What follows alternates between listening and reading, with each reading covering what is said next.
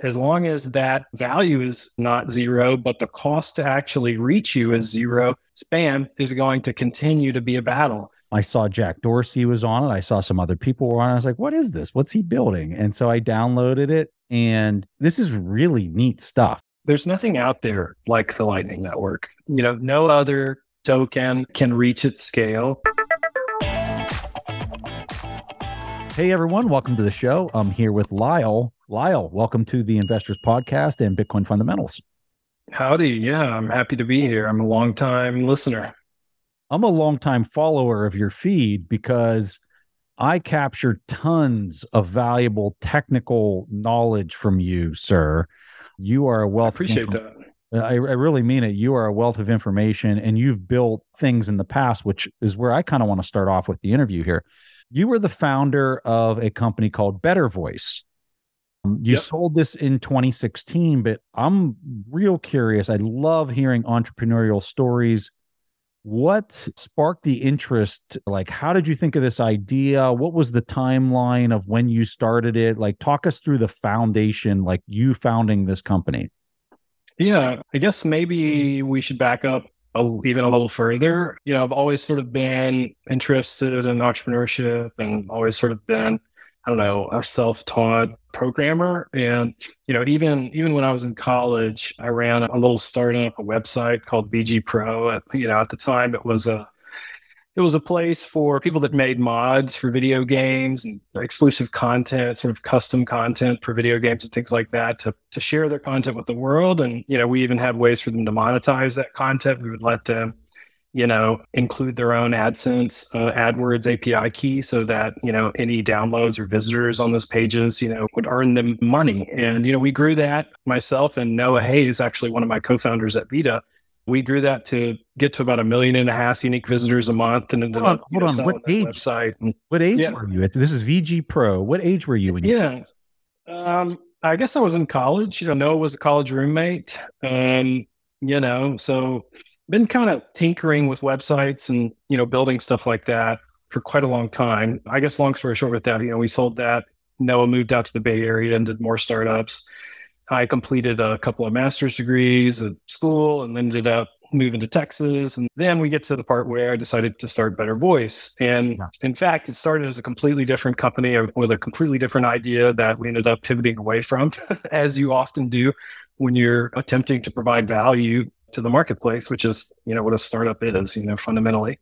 But with Better Voice, it was when Twilio, you know, tw- the Twilio APIs. I don't know if you know what Twilio is, but I've heard um, of it. Um, They've explained it because I, I, yeah, it's uh, you know, it's it, they were sort of one of the first products that let you programmatically control phone calls and send messages, you know, and construct, you know, voice IVRs, which are like voice phone menus, you know, and things like that they got started, and I guess originally at about 2008, 2009. Mm-hmm. So I was sort of, I had been tinkering with their APIs. And I guess, long story short, we built one of the first online only, sort of exclusively online small business phone systems. And we built it originally on top of Twilio's API.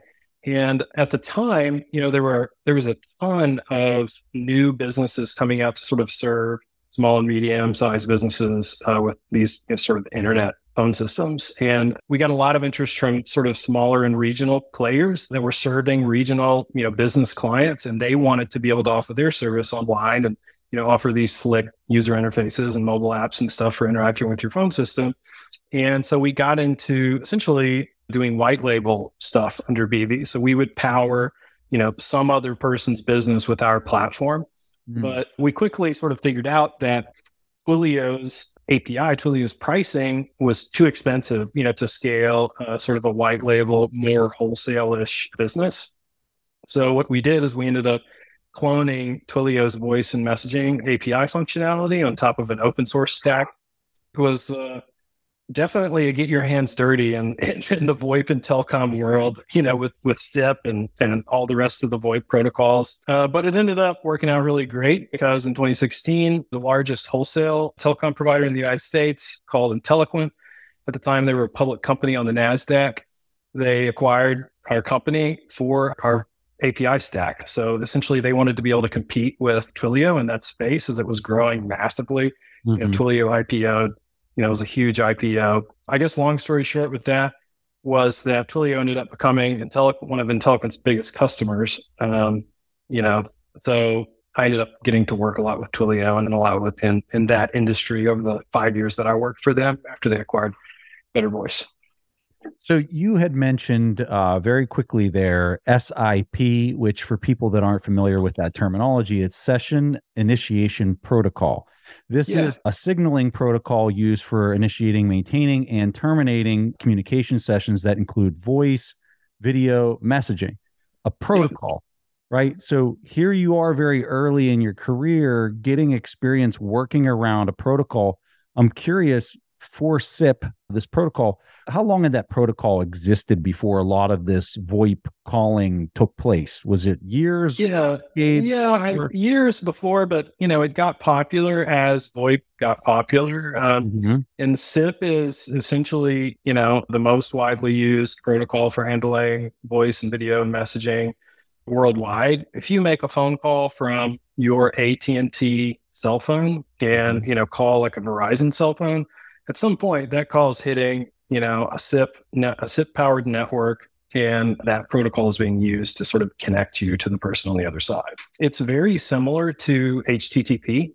Um, mm-hmm. It just has you know specific messages for setting up and tearing down uh, you know phone calls and, and, video calls and things like that. So um, in fact, you know, some of the listeners might be familiar with HTTP 402, which is the, the payment required uh, error code in HTTP.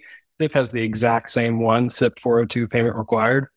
And, you know, back in the day when VoIP was sort of getting popular and, you know, internet was being used to establish voice and video communication and, and terminate communication, even, even amongst, you know, old school copper infrastructure. So back in the day when VoIP was new, a lot of people had these ideas about, you know, how SIP was going to be used to sort of, you know, open up the communication, the market and expand the communication market. And all these uh, infrastructure providers were just going to sort of accept traffic amongst one another. Uh, you know, and, and, prices would fall, which they did slowly over time, just not nearly as quickly as, as people thought.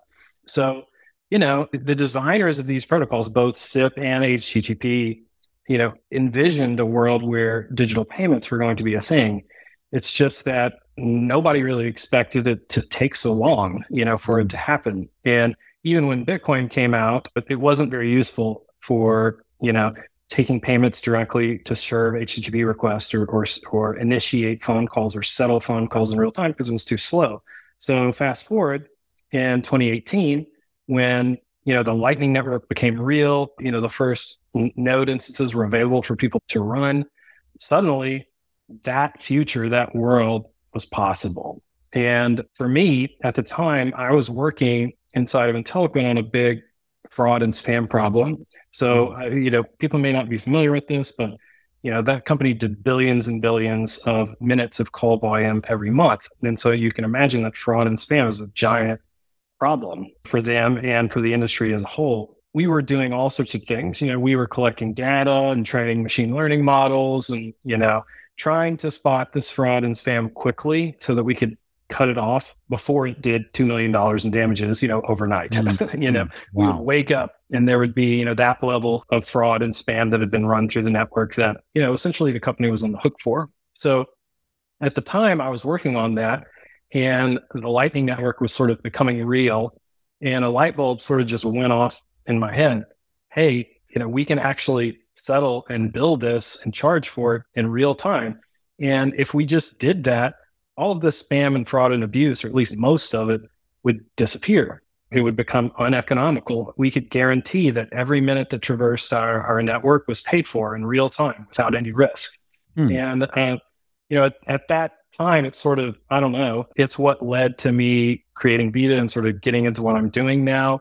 Um, but it was the, it, it's sort of interesting to think like how, how would the VoIP landscape and the telecommunications landscape and the internet evolved? How would it evolve differently if we would have had the ability to do these real time payments, you know, from the beginning? Uh, it's, it's very, it's very interesting. So, Lyle, this is around 2017, that the summer of 2017, when there was the fork. Now we have the ability to do Lightning. Were you a Bitcoiner prior to that? Yeah. Yeah. So, um, let's see. I mean, I've been a Bitcoiner. I guess I would I would call myself a Bitcoiner since about 2014. You know, I started doing a little bit of mining and getting interested in it after it didn't completely die from the Mt. Gox, you know, crash and, and craziness. It was sort of like, okay, well, if it didn't die after that, then it's not going to die. So I started sort of paying more attention to it and getting more interested in it. So been a been a Bitcoiner for a while. I've owned Bitcoin for a while. You know, I guess I probably really, really got interested in it after reading Saifedean's book. Mm-hmm. I have an undergraduate degree in economics and I've always sort of been you know, a gold guy. My grandfather was like a big, a big gold bug, you know, so I, I sort of had the seeds, you know, uh, planted in my mind already. But yeah, and I guess when the when the Lightning Network became real, it sort of overlapped, you know, with, mm. with the industry that I was in, and you know, it sort of set a light bulb off in my brain where I'm like, hey, I can contribute to this. You know, I can use my skills and knowledge in the space to help the Bitcoin community. So that was definitely sort of a driving force in me deciding, you know, to sort of go down this path to begin with was just, you know, my love for Bitcoin, basically. I don't mean to backtrack a whole bunch here, but I love asking this question to people that have founded a successful business, have sold a successful business, when you look back at Better Voice, what were the number one, two, three things you learned from that experience? Like just retrospect that you hold core to who you are as an entrepreneur. What was the thing that you learned? Yeah, I think probably the most important thing is just realizing that you can really, uh, you know, believe in something and and believe that you're going to be able to do something that you have it all figured out and in reality you don't. You know it's this classic you know this classic startup story of a pivot you know a startup pivot where yeah. you, you know you go into something and you're just sure that you have it all figured out and that if everything's going to fall in place you know and one domino is going to fall after another and you're going to be off to the races. But in, in reality you know providing value at scale is difficult you know and there's a lot of competition out there and that's influenced what I'm doing today and, and how I'm approaching Meta today. You know, I don't have this assumption that I have it all figured out, but what I do know is, you know, 10 years from now, the landscape of the world is going to be very different. And if Lightning is the de facto settlement rails for, you know, online value, which I personally believe will be because it makes the most sense, then, you know, there's going to be an entire market available to provide value for um, at the time. And so I don't know exactly the path, you know, to get there, but I do know that it's going to be necessary and there's going to need to be experts in the field and there's going to need to be people providing resources and infrastructure and tooling for that field. And, you know, I guess to boil it down, keep the big picture in sight, have a big thesis that you're working toward and don't get caught up in, you know, the details and, uh, you know, get discouraged when one path fails, just move on to the next one, you know, try something else. So I want to talk about Vida because I'm on your mobile app.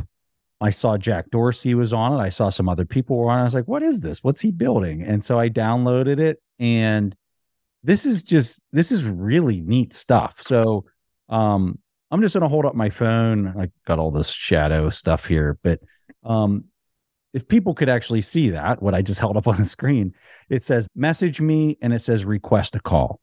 And I have a rate set.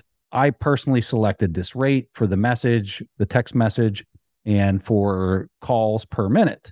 And so if anybody wants to call me or text me, they can download this app and then they can if they really want to talk to me they can pay the rate that i set and you can set your rate as high or as low as, as you think your time is worth. And it's all over lightning. So if somebody talks to me for a minute and 30 seconds that per minute rate is just immediately it's being streamed. The money is being streamed as that call is happening. And same for the text messages and you never give up your number unless during the call you want to give the person your number. And you never give up your number for the text message either, which I think is just you know, for people that are really guarding against their time and have gatekeepers or whatever, whatever it is, it's just it's kind of mind blowing to think that you can do all of this over an app in a completely decentralized money and literally stream the money. So yeah. That's the app. But I think your vision, I suspect your vision is even more than what I just described. So talk us through what your vision is for this. Yeah, maybe it would help for us to sort of step back and think about how things used to be when, you know, when when phone calls were expensive. you know, back in the day when you made a, a, long distance phone call, you didn't actually cost you know your money, um, and so you you kind of you know chose when you were going to do them. And funnily enough, it, it spam wasn't a thing, right? Mm-hmm. And your phone didn't constantly ring uh, with these fake phone calls, you know, trying to sell you insurance for your the car you don't even own anymore, you know, because it was uneconomical. And you know, back then the telecom companies sort of reaped, you know, the the cost and the profits, you know, from that cost. But if you sort of think about it, like, why did the spam not exist? It didn't exist because there was economic disincentive, there was cost associated with it. But today, now that we have Lightning, and now that we can beam value directly to, to an individual directly over the internet, why should a network provider, you know, sit in the middle of that value flow? Why shouldn't an individual be able to set their own rate for their time and attention? Because, you know, fundamentally, your time and attention is a scarce economic good. There's only so much of it, right? And depending on who you are, uh, the demand for your scarce economic good, your time and attention, you know, can be higher or lower. And so just fundamentally, sort of from an economic standpoint, the only way to allocate a scarce economic good to a market is via a price, right? The price is what allows the market to function and allows the good to sort of be distributed to the demand in the market. So, you know, the, the concept of Vida is very simple, and that is to give individuals the ability to set a price on their time and attention. Today, that looks like you know, phone calls and messages and live streams. Uh, tomorrow, maybe it looks a little different. Maybe there's other, you know, other things that we let you price. But yeah, you know, your description's great. Basically, if somebody wants to get in touch with you, they pay your rate. They either send you a message or talk to you on the phone. Maybe they're watching a live stream. You know, maybe you're doing some sort of educational live stream, or maybe you want to, you know, do some sort of AMA but you're in total control over the price. And uh, that lets you sort of have a knob to turn to either increase or decrease the amount of contact that you're getting. Because if you're getting too much, what do you do? You just raise your price until you know you hit market equilibrium for the value of the time and the, the amount of it that you're willing to you know provide to the market at large. You know, and there's other sort of instances of paid communication. You know, Vida's not the first to do it by any means. I mean, you know, you could think of there are services like, I don't know, OnlyFans perhaps as an example of one, or intro.com. You know, there are other expert networks where consultants charge, you know, by the minute for their time and lawyers charge by the minute for their time. But there's not really a standard that makes it easy for anyone to do that about anything. And so, you know, Zeta is starting with this consumer product where we let people set a price for their time for phone calls, messages, and live streams. But ultimately the vision is that the entire telecom network is going to work under this principle where you have individuals at the other end of you know some communication network that are setting a price to be able to contact them and all these networks are going to talk to each other and the value is going to flow through uh, as the communication happens because it just makes sense you know that's the way telecom networks sort of work today. It's just that the value is settled like 90 days later.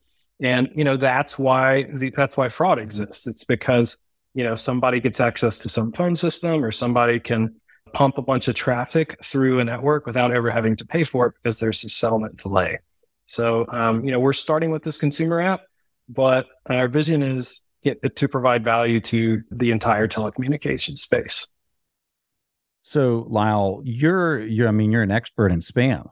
You're an expert in how to defend against uh, those types of things. You have a quote. You said, "As you remove central authorities and sign up barriers, spam will become worse, not better." Walk us through why. And as i'm saying that where there's a lot of people in our space in particular that's looking at the world and saying we're kind of reaching peak centralization and we're going to start swinging more towards a decentralized world. So your quote is a little unnerving as you're saying it's going to get worse as we move to a decentralized world but walk us through uh, what you're thinking here. Yeah um, well i guess think about think about twitter. So you know we all know that spam and bots and things like that exist on Twitter. And Twitter is a centralized entity and they can exert whatever power, you know, and whatever filters they want on the spam and bot problem, except it still exists, right? They're still utterly failing at it.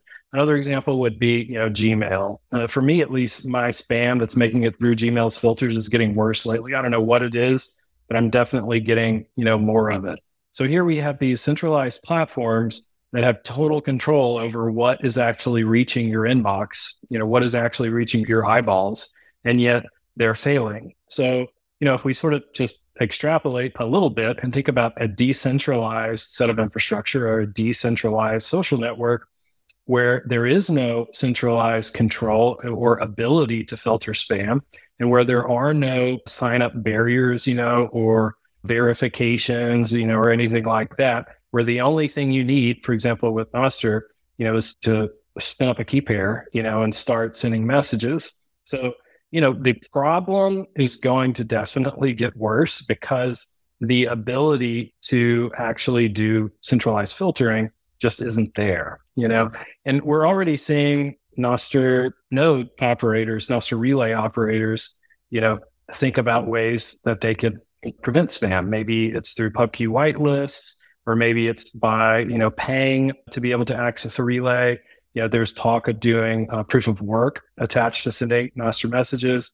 You know, so there's all these sort of possible solutions uh, for this problem. But uh, my my opinion is that they're all sort of futile in the end because uh, ultimately the value of your time and attention is not zero it's significant, right? It's it's significantly valuable. It's what the entire online economy runs on. It runs on advertising to try to get your attention, to try to get you to buy something, you know, to try to get you to take economic action that works in the advertiser's favor. And this is the same thing that drives the spammers and bots, right? So there is this essentially honeypot out there, which is our time and attention and as long as that value is not zero, but the cost to actually reach you is zero, spam is going to continue to be a battle.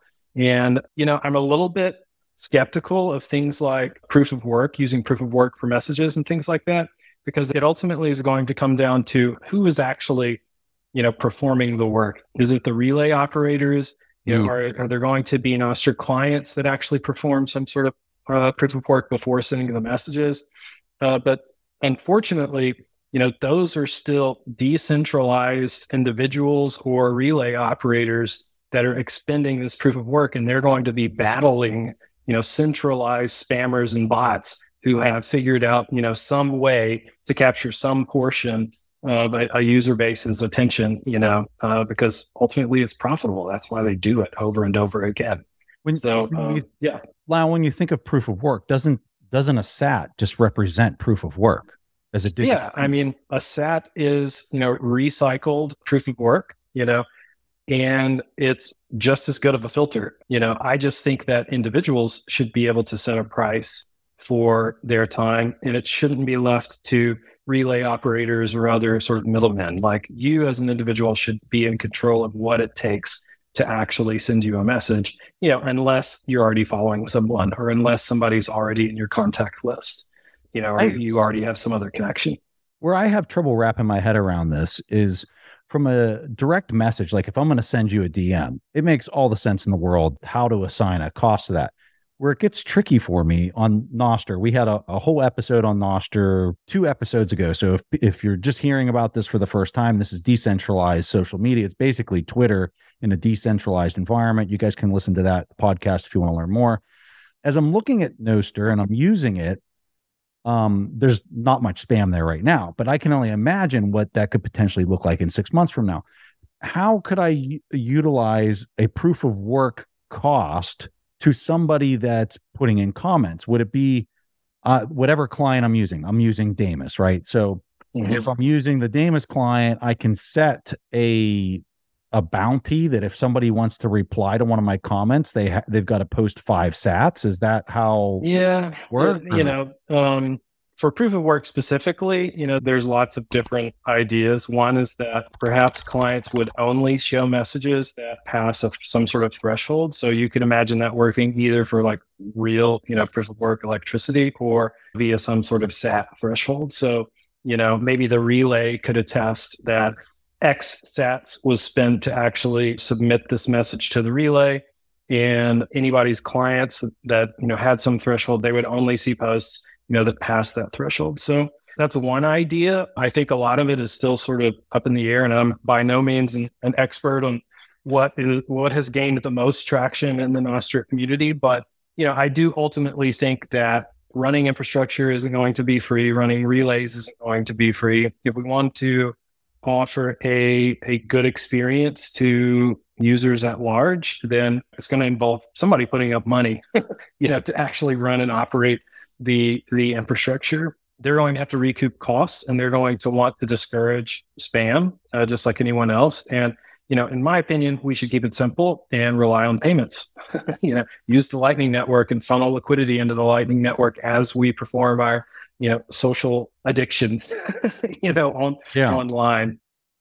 Yeah, I, am just trying to think through it. I, w- I wish I was smarter on it, or if, if somebody out there is listening and you got a good source on some of these monetization uh, techniques to demonstrate proof of work in order to cut back on the spam, I'd love to to see what you got. Share it in the comments of the Twitter uh, release of this episode or whatever. That'd be awesome. How does some of this happen at scale? Like I know you're talking about the relays, so explain a relay, a Nostr relay, and I know we're going heavy into Nostr right now, but I think it's it's representative of a decentralized way to share and to guard against people's time in the future. Because right now, social media is, is like you said, it's zero cost, and everybody using that is literally getting nothing. They're, I mean, they're just getting bombarded with spam. I, my God, my account is borderline unusable at this point because of the spam. But when you do this yeah. at scale in a decentralized kind of way, do you see the relays as kind of the belly wicket, or do you see it more at the user level? Yeah. Um, so perhaps we should step back a few years and like and think about email. You know, email used to be a lot more decentralized than it is today. You know, you used to be able to run your own email server pretty easily. And, you know, you could actually still communicate with people. Your email server wouldn't get blacklisted. You wouldn't get inundated with spam. But slowly, you know, that problem has gotten worse and worse. And if we sort of look at what happened, most people that, you know, have an email have moved to sort of these centralized email providers. you know, one example would be Google and Gmail, you know, Yahoo, unfortunately, it's almost impossible to reliably run an email server anymore. And what is the reason for that? What drove that to happen? The answer is spam. Spam drove it to happen. And, you know, these big centralized entities have implemented all these sorts of blacklists, you know, across the ecosystem, and they only accept, you know, email if you have these certificates and or if you're, you know, this known IP and just to boil it down, spam has sort of centralized email. And so if we sort of take that example that already sort of happened and think about Nostr, well, you know, today you can run a Nostr relay very easily, just like you used to be able to run an email server. And, you know, anybody can connect to it. Fortunately, clients can sort of choose, you know, which relays they're they're going to connect to. But unfortunately, bots and spammers can do the same thing. And so I think that you know, we're going to see a world where users migrate to relays that are better managing spam. And if we leave it, you know, just to sort of relay operators to to implement their own mechanisms and things like that, unfortunately, that's going to potentially be a centralizing force in in the Nostr ecosystem because you know some are going to be better at it than others. But you know, if we could come up with some standards about how to manage it, such that all relays sort of have access to the same technologies, perhaps that is some form of work. right? Hopefully that is some form of, you know, SATS payment or lightning payment. And we won't ever have the problem at all. We won't have these centralized pressures on the ecosystem and we won't end up captured like like email. So, you know, I sort of agree with you. You mentioned this earlier, but you know, paying a Satoshi is reusing Bitcoin's proof of work that already happened. You know, there are some technical downsides to that. Um, like, you know, one would be that sending uh, Satoshi over the Lightning Network requires some some liquidity. Somebody has to have liquidity somewhere, right? So that's sort of a prerequisite uh, if you're going to make all Nostr messages, you know, require SAT payment. Um, that could be a downside. Whereas something like raw proof of work, you know, actually, you know, spinning compute cycles doesn't have that prerequisite. You know, so there's lots of pluses and minuses. I'm I'm following it closely, and uh, you know, I think the community is going to take the problem seriously as the problem gets worse. And mm-hmm. I think that you know the right decisions will be made, and we'll we'll be able to dodge the bullet of, of becoming you know email 2.0 in reference to uh, the Lightning Network transforming communications networks, you have this quote you say, if Lightning becomes the de facto real time settlement network, then global telecom running on Lightning behind the scenes is inevitable. It just makes too much sense. Is there anything beyond what we're talking about there with the decentralized social media that you find this also to be true? Yeah. So the global telecom market, I mean, it's a giant market that has tons of moving parts and players. And, you know, I, I don't think that it will look exactly like it does today. I think it'll be more open, it'll have more transparent pricing, it'll be more decentralized and less dependent on huge monolithic carriers. But what I think some people don't quite understand is that the communication experiences that we're all sort of conditioned to like and, and that we're used to today, they can't all be enabled and solved with, you know, strict peer-to-peer flows. Um, individuals and businesses are going to have to provide infrastructure very similar to, you know, the way individuals are providing Nostr relays. The Nostr experience couldn't happen if it was strict peer to peer, if there wasn't the, if there weren't these relays in the middle, you know, providing the functionality that they provide. But if you think about it, it's, it's kind of like email, you know, the, the original PSTN network, the public switch telecom network, it didn't start centralized back when the, you know, the telephone was invented. It started, you know, very competitive and it was a, it was a land grab and it became centralized over time due to misaligned incentives and due to the inability to actually have value traverse these networks as they were used. And it also became centralized due to customer demands. You know, customers wanted to be able to call anywhere, you know, and longer, uh, further places away, you know, without as much cost.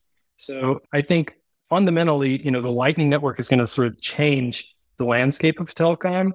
And because we can now transmit value in real time, these telecom networks are going to adopt the technology because it fundamentally does two things. It, it, lets them expand their customer base, it lets them reach a wider base of customers with zero settlement risk. Whereas today, hmm. they're very, very restrictive about who they let into their networks, who they let access their networks because of this huge amount of fraud and settlement risk.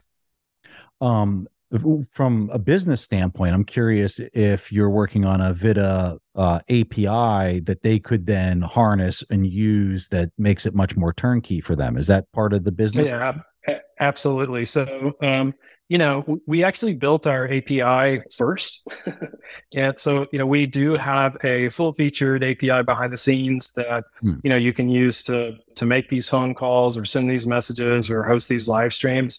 In fact, a, a Vida account can be used to paywall any SIP destination today. So, wow. Know, to, to use a you know example of like a, a, call center, let's say in the Philippines or something like that. Maybe somebody. You know, there's a whole call center providing customer support about, you know, some software or something like that. Technically, as of today, they could paywall the entire call center or a SIP destination with a Vida account. So you know, the API does exist. We haven't really productized it well uh, yet, uh, but our entire, you know, all of our consumer apps are, are built on top of our API. So, you know, we do think that the, you know, the longer term and bigger vision, our API is going to be an integral part of that. And providing services, you know, to these enterprises is going to be an integral part of that. In fact, we're already talking to a telecom in Mexico um, that has a you know a concession. They can issue Mexican phone numbers, Mexican DIDs is what they call them, and they have direct access into Telmex to terminate calls all over the Latin America. And you know they're very interested in using our API to use the Lightning Network to accept international traffic and route it into Central America with zero settlement risk. So you know it's already becoming a reality. You know a lot of our time has been spent on these spent on building these consumer apps, but you know the bigger vision is again to provide value to the entire telecommunication space and do more showing rather than telling about how the lightning network you know can be used to just improve the industry do you find that maybe it's a little bit slower for these companies and these service providers to pick up on it simply because the cost that's being actually paid for this spam is at the user's level and it's being paid with their time? Or is there other costs here that would make it much more enticing for them to start rolling this into their service plan? Yeah, well, I mean, I think you touch on a very important point, and the incentives in the telecom industry are misaligned for stopping yeah. spam. Because if you are a wholesale operator, what metrics are you looking at? You want total minutes passing through your mm. network to go mm. up. You want that number to go up, right? So what is spam? It makes that number go up. Right. Yeah. So the you know the government there there's a lot of sort of push in enacting you know new rules. There's something called STIR/SHAKEN, which is kind of like SSL for for phone calls, so that they can trace the source and destination of calls, try to cut down on spam. So there's a big you know there's a big battle going on, but the truth is that a lot of telecom providers you know, don't have any incentive to actually stop it. But let's pause and consider, you know, what would it be like if all of the downstream subscribers set a price for their time. Exactly. And what if the network providers could actually take some portion for facilitating, you know, the phone call? That in and of itself would flip the incentives. It would incentivize the telecom operators to only give you calls that you're actually going to answer, right? Because that's the only way that they got paid. So I think um, you know there's a lot of reasons to give individuals the power to set their price because it, it realigns the incentives of all sorts of things the telecom network you know the advertising space the advertising and marketing space. You know think about the incentives right now. Uh, if you are a platform owner like like facebook you know they are incentivized to put as many advertisements in front of you as possible because they are monetizing your attention. They are monetizing your eyeballs and you get nothing for it right? You get to use their product, you know, perhaps that's something, but you're not reaping any of the rewards for the value of your time. And, you know, they even know, you know, whose time is worth more. They have a, you know, they, they pr- even provide APIs to make it easier to target ads at, at specific people because, you know, companies know that some people's time is worth more than others. So if we could just put individuals in charge of their own prices, we would change the incentive structure for pretty much everything online because you know the incentives would be to give you things that you that you actually want. Because otherwise you know why would i waste money? Why would i waste capital showing you an advertisement that you're not interested in? Why would i waste money calling you and you know talking to you if you're not going to listen to me and you're not interested in what i'm you know what i'm saying? Uh, so you know, so it's so bad. I mean twitter I just I just got a message for Twitter Blue that they're raising the price now to eleven dollars. And I think the ads, I think the ads are like 10x what they were before yeah. came in. The ads are are insane, right? And they're they're charging a fee for this, and it's not any better. The spam is is just as bad, if not worse. So uh, Elon's Elon's got to recoup about thirty billion dollars and over overpaid uh, overpaid stock. you kind of run into an issue with like if people are going to set their price, you kind of like I'm thinking of it from like the phone company, like let's say the phone uh, Verizon or AT and T's like uh, pay an extra five or twenty dollars a month to have reduced spam to your account. So I might be paying for that service, but may- maybe my uh, neighbor isn't willing to pay the five to twenty dollars for that service. It's something that they would have to apply across all the lines uh, collectively, right? For that to really, because I mean, it doesn't require much. If you put a five cent, one cent, yeah. or if we're talking sats, right? You put a really small bounty on connecting the call, you're going to stop the spam immediately because they're trying to do it at scale and you run out of money real fast trying to pay those fees at scale but you have to have everybody on board and i think that's where it's the it gets tricky for these service providers. I'm, I'm assuming that's correct logic or do you think you could do it individually where if, if i'm paying five dollars a month then i'm going to have be protected from these spam calls? Yeah, there's you know there's various ways to do it, and you know I know like Verizon and AT and T do have extra services you can pay to enable some sort of spam blocking, but um, unfortunately, it, if you're going to try to approach it through heuristics, you know you're going to essentially limit access to someone. And the way they do it today is that they require that you send your calls into the network this may be a little bit of a tangent, but they require that you send your calls into the network with a special certificate uh, so that they can know that you're a legitimate person and not a not a mm-hmm. spammer. But unfortunately, so like blue badge. certificates. It's like the, it's like the Twitter verification or something. Okay. It is kind of like a Twitter verification. Unfortunately, you know, the the organization that's responsible for granting those certificates, it's like a big racket. you know, it's a it's essentially a tax on the entire ecosystem. What does that mean? It means that it prevents people from making calls that could be good and it lumps them in with all of the bad actors, you know, kind of like operating your own email server, you know, and, and that being impossible. But what you're saying is is is true. Like if if we were to use sats and if you were to set a rate for your time and I were to set a rate for my time, you know, what would the experience be like for somebody that hasn't opted into this before?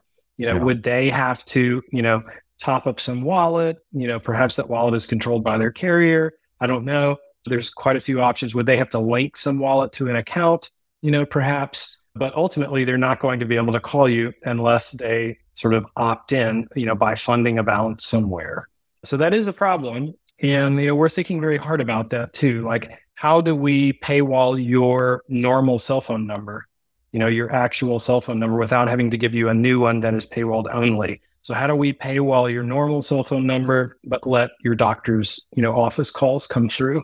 You know, only paywall the spammers. Uh, you know, it's no, a no. it's a difficult problem. You know, there's not very easy answers. That's why we haven't, you know, started with that version of the product. But you know, we are thinking about it a lot. And we actually are looking forward to giving Vida users uh, real phone numbers that can be called, you know, from just normal cell phones that are paywalled.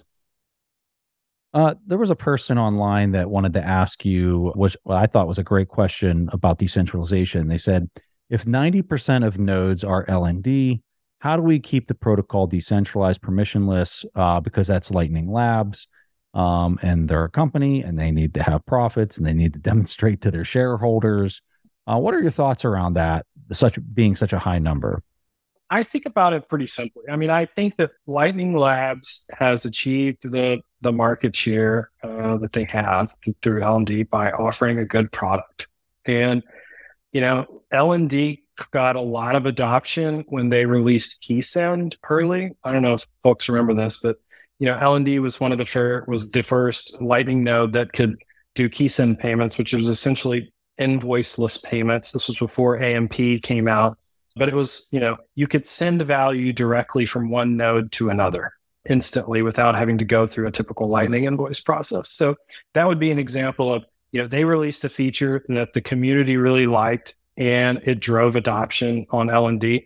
And, you know, they've continued to do that. Now, you know, could it be a future problem that, you know, that the Lightning nodes that people are running are too centralized? And, you know, we just saw a few weeks ago that there was a problem that arose from it. There was a bug in LND and it took down a good portion of the nodes out there. So it's definitely not optimal, but I'm not super doomy about it over the long term. Mainly, I think that, you know, the Lightning ecosystem is still very young. There's still plenty of opportunity for any other node implementation to, to gain traction. It's not, you know, there's not a ton of switching costs for swapping over to a different node implementation. Well, not not a ton. There are some for sure. If you have a lot of you know liquidity routing into a node, it can be sort of a pain to migrate that you know, those channels and liquidity and the people that have open channels to you over to a different one. But it's not a huge deal breaker.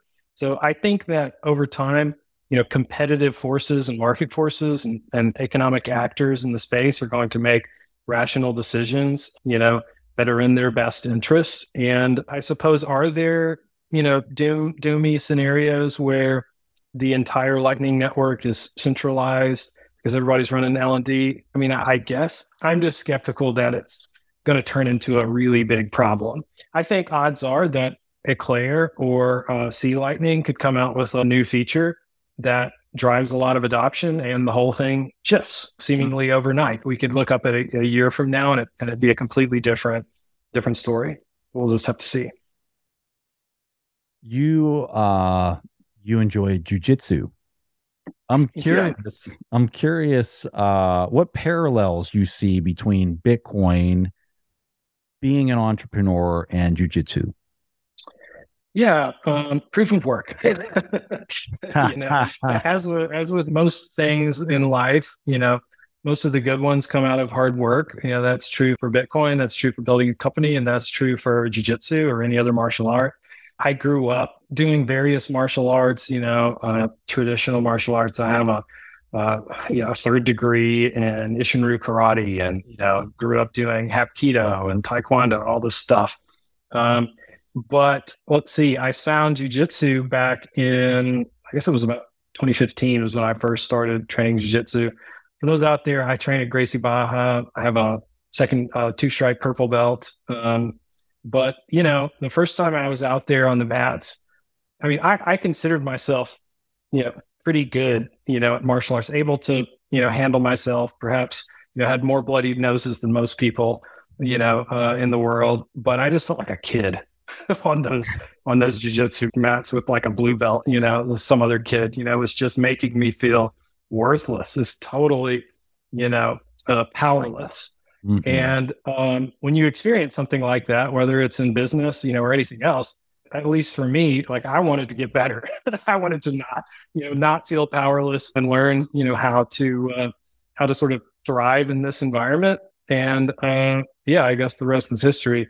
I have been sort of accumulating injuries, which has caused me to pump the brakes a little bit. I, I, got seven screws in my hand here from a jujitsu injury. I just had my meniscus repaired last month. Uh, I've got you know neck disc issues. So I guess if I had some advice, I would say you know treat your injury seriously and treat your body with respect, and don't have a big egotistical attitude about you know taking breaks and you know keeping your your health in mind. So you said a comment earlier. I, I would suspect you would you would agree with this, but I'm curious if you would. Um, you said earlier about your what you learned in entrepreneurship is is you have this idea of like where you think you're going to go, but then until you like sense your environment and you sense where you can create value or or add value, um, you have to be able to move with that environment, right? I would imagine in martial arts, it's so much of it is you can go in there with a plan, but you have to be very dynamic. You have to see what your opponent's doing in order to dynamically adjust. Um, yeah, absolutely. There's a parallel there as well. Any others? yeah, for sure. Yeah, I, I, mean, I think you make a you know you make a great point. Um, you know, it it requires a focus. It requires sort of a focused goal in mind. You know, yeah. what are you trying to get to, right?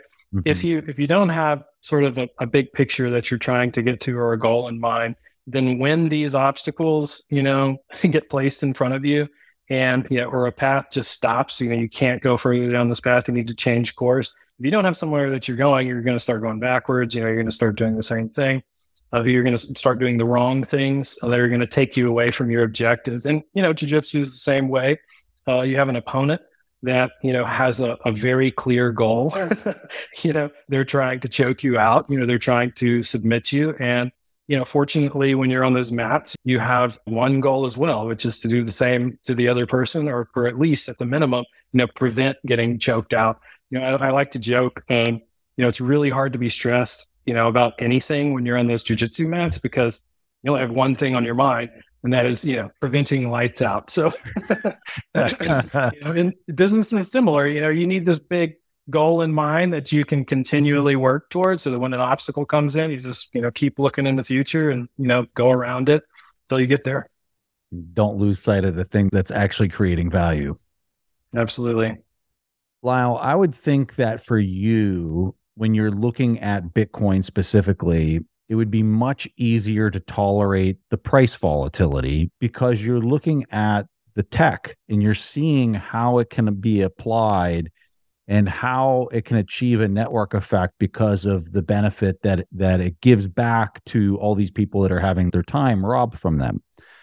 Because there's a lot of people that listen to this show that are investors. They're looking yeah. at it from an investing lens. Maybe they're a technician and they're looking at the price chart and they're saying it's down hard um, and it's it's a lot easier i think for a person like that to lose sight of what's actually happening behind the scenes and what's being built. Yeah. so uh, yeah yeah. your thoughts um, well you know uh, the lightning network let's just start there since we've been talking about it quite a bit.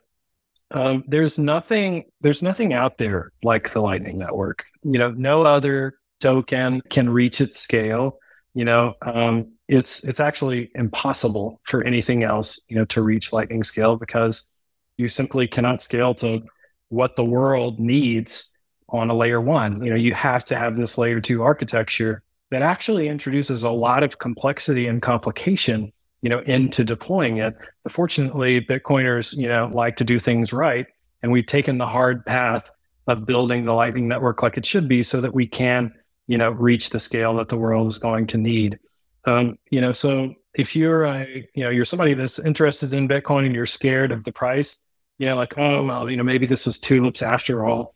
You know, I can assure you that it's not because the world needs the ability to instantly settle value. And the Lightning Network is literally the only way to do it at scale. Um, you know, perhaps with um, fees that are basically nothing yeah with with fees that are basically yeah. nothing you know at least today but always will be you know, even if fees increase they will always be more competitive they will always outcompete you know some other layer one you know style solution so in my opinion the reason why like i'm building uh, Vida and building a company that you know is sort of hitching its um, you know its wagon to the lightning network is because i do believe that you know the world is going to be using lightning in a much bigger capacity over time because it makes sense. You know i happen to think that i understand it perhaps a little earlier but eventually you know much more people are going to understand it. Much more people in the telecom space in the social networking space and the you know, money transfer space everyone's going to get it eventually. And you know bitcoin's still going to be around and it's still going to be growing and people are still going to be building Lyle, I really enjoyed this. Learned a ton from you. Have been learning a ton from you uh, for years now, following your feed. Same, same to you. Give people a handoff to the app, to anything else you want to highlight, and then also your uh, Twitter account. Yeah, Twitter. I'm at Lyle Pratt. My name. You know, I guess you can find me on Vida, vida.page slash Lyle Pratt. Uh, if you want to reach out and talk to me, you know, uh, I'm a 21, 21 cents a minute or a message away. you can get direct access. Um, yeah, but you know, give me a follow. Would love to talk. Uh, you know, again, Preston, thank you so much for inviting me on the show. Huge fan. You know, probably listened to every episode uh, and have for a long time. And cheers to all the other listeners out there like me. Thanks, Lyle. This was awesome. It actually stands for notes and stuff transmitted over relays, and those notes can have content of any kind. So it already has a somewhat advantage over Bitcoin in the sense that you don't really need to run your own node. I mean, it's just pure signal. It's so nice because all the politics are not in there. It's just, it is awesome. You can see everybody building.